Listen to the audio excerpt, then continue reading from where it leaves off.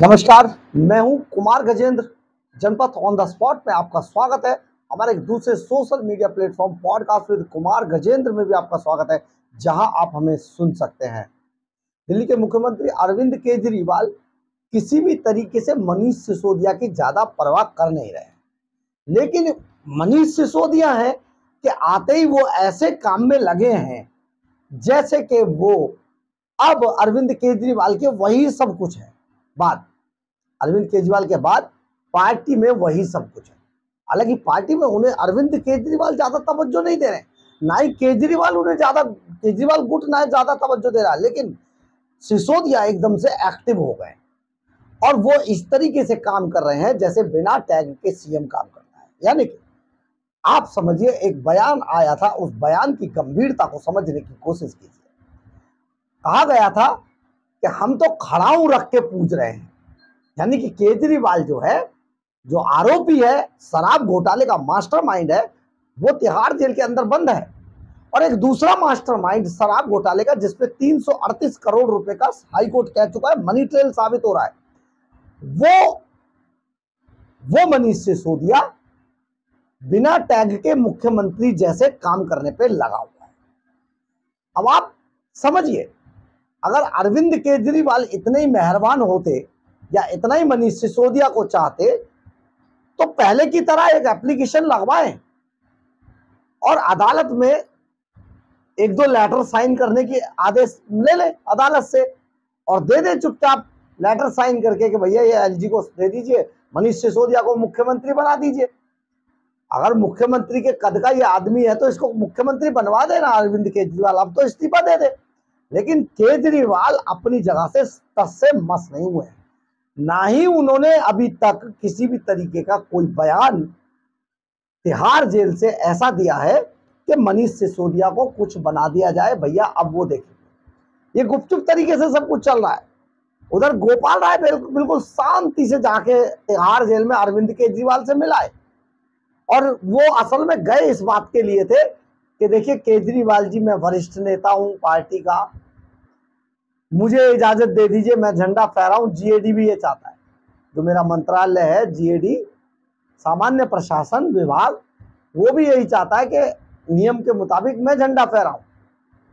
इसके लिए आप समझिए, गोपाल राय तिहाड़ जेल चले गए और मिल के आ गए केजरीवाल से। लेकिन केजरीवाल ने ना तो गोपाल राय को इस बात की इजाज़त दी आप फहरा लीजिए झंडा। उन्होंने साफ़ कहा कि भैया, आतिशी फैलाए फहराएँगी तो आतिशी फहराएँगी। आपका कोई मतलब नहीं है, आप किस बात के वरिष्ठ है? मैं आपको नहीं मानता हूँ। और ना उन्होंने ये कहा कि मनीष सिसोदिया सरकार या संगठन को चलाएँ। तो किसी तरीके की कोई भी स्टेटमेंट अरविंद केजरीवाल की तरफ़ से नहीं आई है। यानी कि केजरीवाल जब से मनीष सिसोदिया तिहाड़ जेल से छूटे हैं, जमानत पर। जमानत पर छूटे हैं। शर्तों, सशर्त जमानत पर जो छूट के आए हैं, उसके बाद से केजरीवाल की बोलती एकदम बंद है। एक शब्द अरविंद केजरीवाल के मुँह से नहीं निकला है, मनीष सिसोदिया के लिए। उधर मनीष सिसोदिया ने पार्टी पर हावी होने में कोई कसर नहीं छोड़ी है। सरकार और संगठन दोनों पर उन्होंने अपना वर्चस्व कायम करना शुरू कर दिया। अब आप देखिए, इसमें हम आपको थोड़ा सा कुछ सिलसिलेवार ढंग से बता देते हैं। मनीष सिसोदिया दिल्ली सरकार का हिस्सा नहीं बन सकेंगे क्योंकि वो कैबिनेट में शामिल नहीं हो पाएँगे। अब कैबिनेट में हमने आपको बताया था अपनी पिछली वीडियो में कि देखिए, दिल्ली के अंदर सत्तर विधानसभा है, उस हिसाब से सात कैबिनेट की सीट है। सात मिनिस्टर्स यहाँ बनाए जा सकते हैं। कैबिनेट में इसमें से एक मिनिस्टर एस सी कोटे का होगा।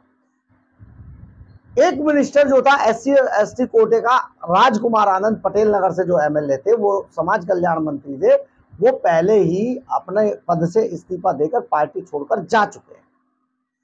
अब ऐसे में मनीष सिसोदिया को तो कोटे से बनाया नहीं जा सकता।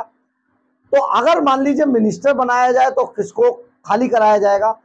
उसमें आतिशी मार लेनो, या फिर सौरभ भारद्वाज में से किसी एक को इस्तीफा देना पड़ेगा। और अगर इन दोनों से नहीं लिया तो कैलाश गहलोत अब निशाने पे आ चुके हैं। हालाँकि आज उन्होंने बड़ी केजरीवाल चालीसा पढ़ी है। रो रो कर केजरीवाल चालीसा पढ़ने की कोशिश की है छत्रसाल स्टेडियम में, लेकिन केजरीवाल के निशाने पे वो आ गए हैं। तो इसलिए कैलाश गहलोत भी हो सकते हैं, लेकिन ऐसा होगा नहीं। अभी अरविंद केजरीवाल जब तक तिहाड़ जेल से बाहर नहीं आते। तो सात कैबिनेट की जो सीट है, वो सातों की सातों लगभग बुक है, मनीष सिसोदिया के लिए कोई सीट नहीं है। और ना ही अरविंद केजरीवाल ने अभी तक किसी तरीके की कोई स्टेटमेंट जारी की मनीष सिसोदिया सत्रह महीने बाद जेल से बाहर आए हैं। सिसोदिया आम आदमी पार्टी सरकार में शामिल तो नहीं हो पाएँगे, लेकिन उसकी सलाह पर सरकार काम करेगी। आम आदमी पार्टी का कहना है कि नेताओं का बाहर आने का सिलसिला शुरू हो गया और मुख्यमंत्री अरविंद केजरीवाल भी जल्दी जेल से बाहर आ जाएँगे, जो कि पॉसिबल नहीं है। अब उनकी बेशक उप मुख्यमंत्री मनीष सिसोदिया, पूर्व मुख्यमंत्री उप मुख्यमंत्री मनीष सिसोदिया सरकार में नहीं है, लेकिन उनकी सलाह से ही अब दिल्ली की आम आदमी पार्टी और सरकार दोनों उनकी सलाह से ही चलेंगी। सिसोदिया सरकार के मंत्रियों से कामकाज की जानकारी लेंगे और ज़रूरी दिशा निर्देश भी देंगे। दिल्ली विधानसभा चुनाव को देखते हुए वह प्रति सप्ताह सरकार के कामकाज की समीक्षा करेंगे। किस टैग से करेंगे? टैग तो बता दीजिए। ऐसा नहीं होता है। किस टैग से करेंगे? कोई टैग नहीं, सिर्फ़ एमएलए हैं। तिहाड़ जेल से वापस लौटे हुए मनीष सिसोदिया, एक एमएलए है।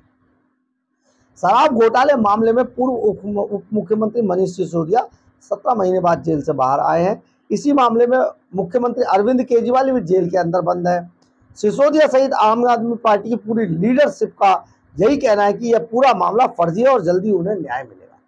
लेकिन मामला असली है और न्याय जल्दी से नहीं मिलेगा, अभी केस चलेंगे। आपका कहना है कि नेताओं को का बाहर आने का सिलसिला शुरू हो गया और मुख्यमंत्री अरविंद केजरीवाल भी जल्दी जेल से बाहर आएँगे, जो बिल्कुल झूठ है।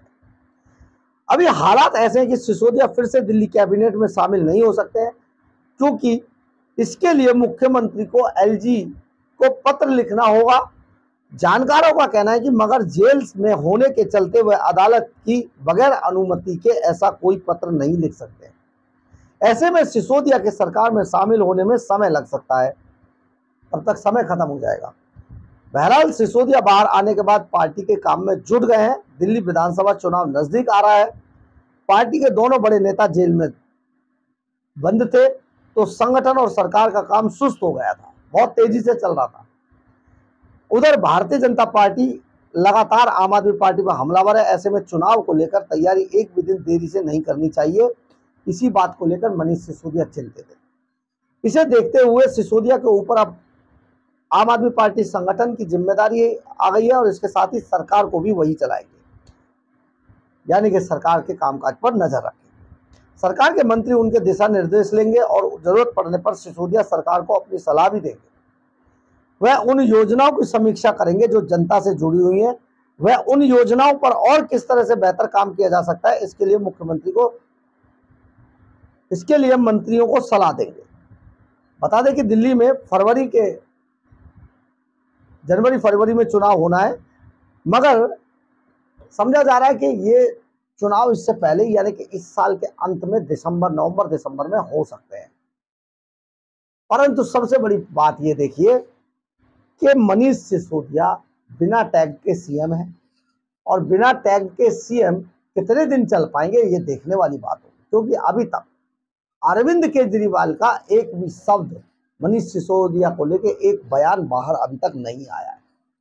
और मनीष सिसोदिया को लेकर अगर अगर इतने ही सीरियस है अरविंद केजरीवाल तो मनीष सिसोदिया के लिए एक परमिशन लेके एक लेटर लिख देते कि मंत्री बना दिया जाएगा।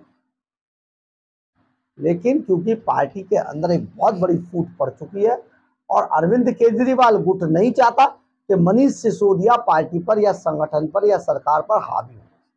इसलिए अरविंद केजरीवाल अपने पैरों पर कुल्हाड़ी तो नहीं मारने वाले। बहुत तेज तर्रार वो एक चतुर व्यक्ति है, जैसा कि प्रधानमंत्री नरेंद्र मोदी ने कहा था, चतुर चोर है। तो वो चतुर चोर है, इतनी आसानी से मनीष सिसोदिया को बाजी नहीं देगा किसी भी तरीके अब आप समझिए कि मनीष सिसोदिया की स्थिति क्या थी। उनके सारे लोगों को लगभग निकाला जा चुका पार्टी से। लेकिन मनीष सिसोदिया आज जिस तरीके से कोशिशें कर रहे हैं, स्कूलों में जा रहे हैं और शिक्षा मंत्री उनके पीछे पीछे चल रही है। एक पॉइंट इसमें और भी था कि वो सरकार के, जनता के जो काम है, उन पर नज़र रखें। कौन से काम जनता के? कौन से काम?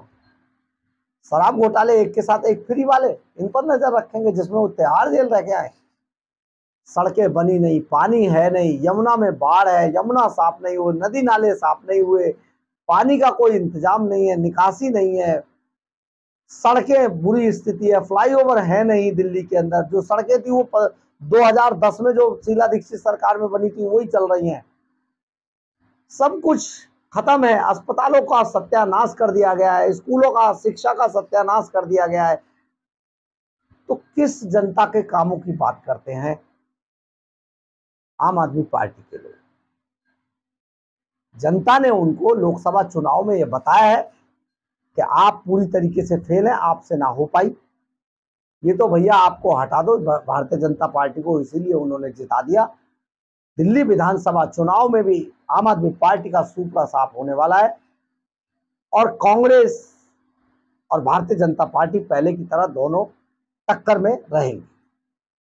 बहरहाल अगर आपको हमारी खबर अच्छी लगे तो आप इसे लाइक सब्सक्राइब और शेयर ज़रूर करें। कमेंट्स बॉक्स में अपनी राय ज़रूर ज़रूर ज़रूर लिखें इससे हमें बहुत बहुत बहुत ऊर्जा मिलती है। जय हिंद, जय भारत।